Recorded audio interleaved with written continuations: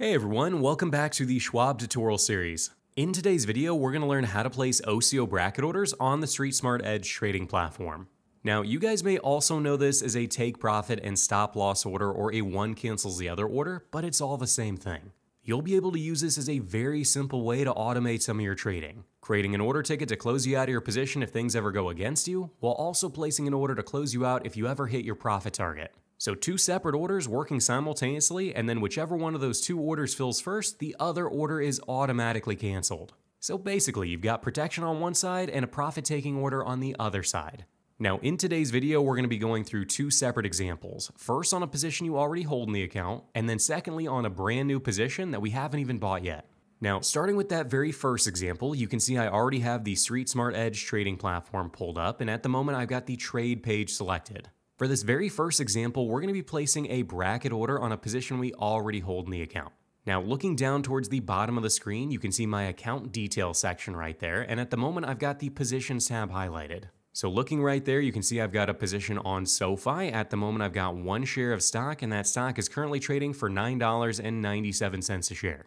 If we wanted to place a bracket order on SoFi, all we would have to do is come down here to the symbol and go ahead and right click on it. As soon as we do that, you're going to see a little menu come up with a whole bunch of different options, but we're going to focus on the top of this drop-down menu. Right there, you can see the very first option is just to outright close our SoFi position. That would be if we just wanted to sell our share of SoFi. We wanted to place a market order or a limit order. We just wanted to sell it. In our case, we didn't want to do that. We actually want to place a bracket order. So we're going to look down just below that and then select add brackets to SoFi. As soon as we click on that, you're going to see a little menu come up and it's kind of broken out into two separate sections. The first section up at the top, broken out in white, this is kind of based off of where you want to base your stop and your limit price. In our case, we're going to set actual specific price targets, so I'm going to ignore this top section for right now. Looking down below that, and we can see the gray section right here, the first question it's going to ask us is how many shares of SoFi did we want to sell? In my case, I only have one share of SoFi, so I'm going to come over here to this box that says zero, I'm going to highlight it and type in one in there. Now that we got the quantity box knocked out, the next thing it's going to ask us is what is our profit target on SoFi? So right here you can see profit exit and there's a little checkmark box next to it. We're going to go ahead and select that. And now the next thing I need to do is actually specify the price I wanted to sell SoFi at. So we're to come over here to where it says points. I'm going to click on that and change this to price. Now, price simply means that we've got a specific price target in mind. I'm saying I want to sell these shares of SoFi if SoFi ever hits, let's say $12 a share. So coming right here where it says 0.00, I'm gonna go ahead and highlight that and type in 12 right there. Now that we've got the profit target set, the next thing we need to do is set the other side of the bracket, the stop loss target. Now looking right there, you can see we've got two separate stops available to us, either a trailing stop or a stop loss order. Now in this first example, we're just gonna set a regular stop loss, so I'm gonna go ahead and click on stop loss right here. And keep in mind that this is more of like a stop market order meaning we're going to set our activation price, the price at which we would want to get out of SoFi, and as soon as that is activated, a market order will go out there to sell this position. So let's say in this example, I wanted to get stopped out if SoFi ever dropped below 7 bucks a share. So once again, I'm going to come over here to the word points, I'm going to click on that. I'm going to look down below in the drop-down menu and select price. Now that we've got that selected, I'll go ahead and highlight 0.00 here, and I'm going to go ahead and type in 7. And that's it. Right there, you can see what I'm essentially saying is I want to sell this one share of SoFi if it ever hits 12 bucks. But also, if things go against me and SoFi starts to drop, get me out if it ever drops down to 7 bucks a share. Now, since this is a bracket order or a one cancels the other order, whichever one of those sell orders fills first, the other order is automatically going to be canceled. So for example, if SoFi goes up and it hits $12 a share, I'm going to sell my one share of SoFi and then the stop is going to be canceled. If SoFi instead goes against me and it drops down to 7, my stop activates, I sell my share at 7, my limit order at 12 is going to be canceled. So again, that's the whole point of this trade. It's a bracket order. Whichever order fills first, the other one is automatically canceled. Now, if I was happy with this order ticket, everything looked good, I'm going to come down here and hit review order, and it's just going to give me a confirmation screen. So right here, it's going to confirm exactly what we put on the previous screen, just making sure everything looks right. And if it does, we're just going to come down and select place order. Now, as soon as I do that, the order has been placed, and if I wanted to check on the status of that order, I could come down here to the account details section and select order status. Now, right there at the very top, we can see my current bracket order on SoFi. So right there, you can see my profit target is 12 bucks and my stop target is 7 bucks. And then if I needed to edit that in some way, we could always come over here to the word bracket and go ahead and right click on that. Just like before, a little menu is going to come up and we can come to the very top of that menu and select Edit Bracket. From there, we could actually edit the order ticket if we needed to. So let's say I actually change my mind on my profit target. I only want to sell this share of SoFi if it goes up to 15 bucks a share. So I'm going to go ahead and highlight that, type in 15, and I'm to say I'm okay with the current stop target. We'll leave it at 7 bucks, and I'm just to go ahead and hit review order and actually place the order to edit what I just had before. Looking down below in the order status screen, you can see that it has been edited. My new profit target is 15 bucks. My stop loss target is still 7 bucks. Now, if you change your mind entirely and you want to just outright cancel this bracket order, what we have to do is cancel them one at a time. So the first one I'm to cancel is my profit target simply by coming over here to the order ticket, right clicking on it, and then saying remove profit exit right here. You'll then see a little window asking if we confirm that we actually did want to cancel this order. I'll go ahead and hit remove order down here. And now that the profit taking order has been removed, we just need to do it again to the stop target as well. So looking right here, I can see my stop target. I'm gonna go ahead and right click on that. I'm gonna come up here to remove stop loss exit just like before, and then just confirm that I do in fact wanna remove this order. And that's it, my stop and my limit have been canceled. The bracket order is no longer working. But again, placing a bracket order on a position you already hold in the account is very easy. You simply need to come down to the positions tab and see what we're currently holding. From there, just find and right click on the position you want to create the bracket order on. So in this case, SoFi, we're going to right click on it, add brackets to SoFi. From there, we get that little menu just like before. We're going to specify how many shares, in this case one, and then select the profit exit and stop loss exit. Now, before moving on to doing this on a position we haven't even bought yet, let's explain the difference between the points, the percentages, and the price box over here on the right hand side. So remember, in the previous example, I showed you that the price means we've got a specific profit target in mind. We're saying if it ever hits this level, get me out of it. If it ever hits 12 bucks, sell it. If it ever hits 13 bucks, sell it. That is a specific price target.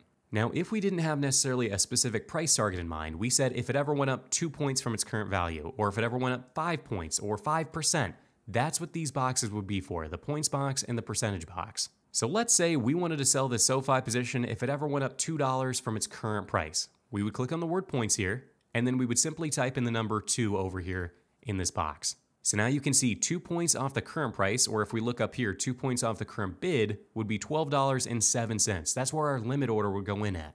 Now, if we came up here to the top, we could actually specify, I don't want it to be two points off the current price or the bid price. I want it to be two points off the price that I bought it for, which would be my average cost of 908. Now you can see two points above the price that I bought it for would be $11.08. But that's what this box is for up here at the top, this white section. It's asking you what price you want to base this off of? The price you bought it for, the current bid, the current ask, or the last traded price. That's what this is for. Now, for me personally, I would probably just leave it as the default, the bid price, because you're saying, hey, sell it at two points above whatever it's currently trading for, or 5% above whatever it is that you're setting. So let's say, for example, you wanted your stop loss target to be 5% below the current bid price. We're to come over here to where it says points. We're to change that to percentage. I'm now to come over here to the stop loss exit target, and I'm to type in 5 here for 5%. And looking over here on the right hand side, you can see 5% the current bid price is $9.55. So if I were to hit review order right now, my limit order will go in at $12.04 and my stop target will go in at $9.54. So hopefully that explains the difference between this top box and then the points versus the percentage targets down here below. If you have any other questions, you can always leave it in the comments and I'm, I'm happy to answer it further. Now, moving on from this, let's go ahead and delete this out of here. The next thing I wanted to go over is how you would place a bracket order on a position you haven't even bought yet. Now, of course, there are a few different ways to do that, but in our example today, we're going to be using this one uh, trade button up here in the upper left-hand corner. Now, in my case, I already have a position on SoFi, so let's flip this over to, let's say, Bank of America, BAC. We'll hit enter on the keyboard here. Now, right here below is my all-in-one trade ticket, and the very first thing I need to do is actually specify my opening order. So we're just going to go through this building out an opening order ticket. I'm going to specify that I want to buy. I only want to buy one share of Bank of America. Let's say I wanted to use a limit order and I only wanted to buy that one share of Bank of America if it dropped down to 40 bucks a share. Now that I've got the opening order ticket specified, I'm saying I only want to buy one share of Bank of America. The next thing I'm going to do is actually place my bracket orders right behind it. Now, in order to do that, we're going to find the brackets button and go ahead and select that. From there, a window is going to open up that looks just like the previous example. We've got our profit target and then either a trailing stop or a stop loss target. So just like before, the first one we're going to set is our profit exit. So we're going to go ahead and check mark that. And you can see I've already got a price selected and at the moment $50 automatically pops up in there. In my case, let's say whenever I buy this one share of Bank of America at 40, I wanted to then try and sell it for let's say 45 bucks. Now finally, the next one I'm going to do is my stop loss target, and I'm going to go ahead and change this from, at the moment it says 20%, which would be $32 off of 40 bucks. I'm actually going to set it as a 10% stop loss. I'm to go ahead and type in the number 10 here, and I've already got percentage selected. And looking just to the right, you can see 10% off my opening price, 10% off of 40 bucks would be $36 a share. So if I were to actually place this trade, what I'm essentially saying is I want to buy one share of Bank of America if it ever drops down to 40 bucks a share. Now, if that order ever fills, I'm actually able to buy that one share of Bank of America for 40 bucks. I then want to try and sell it if it ever hits 45 or get stopped out if it ever drops 10% below that. In this case, that would be $36 a share. So again, if we actually wanted to place that, we would simply come up here to review order.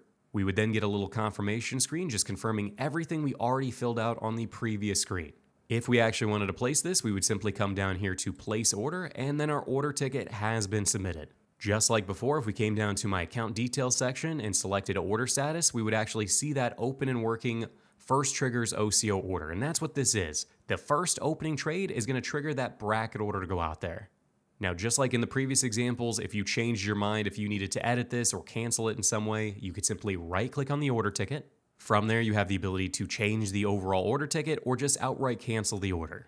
In my case, I don't actually want to place this trade, so I'm to go ahead and hit cancel order here. It's then going to just confirm that I do in fact want to cancel the order and I will hit cancel order one more time. But as you can see, creating a bracket order in this platform is pretty straightforward. So let's do it one more time. I'm gonna come up here to Bank of America. We'll go ahead and type in TWTR for Twitter. We'll go ahead and hit enter on the keyboard. Just like before, I do have to build out my opening order ticket. So how many shares of Twitter do I wanna buy? In this case, I'm saying 100 shares. Over here, I could change the order type, I can change the limit price that I'm buying for, and the time in force. So let's say I only wanted to buy this share of Twitter if it dropped down to 35 bucks. And then coming down here to my bracket orders, I've already got uh, profit exit and stop loss exit selected. Let's say I wanted to put in, instead of a price target, a points target, and I said, whatever I fill at, I want to sell it for five points above that. In this case, you can see that if my opening trade fills at $35 exactly, my profit exit would be at $40. Obviously, that's five points above the price that I filled at. So 35 plus five, 40 bucks a share. Then right below that, you can see my stop loss exit currently is 10%, what we previously set for Bank of America. If I instead wanted to get stopped out at a specific point target, let's say I wanted to stop out if it ever dropped two points because I didn't want to lose more than 200 bucks, we can see there that two points below the opening price, the $35 a share that I'm trying to buy it for, would be $33 a share.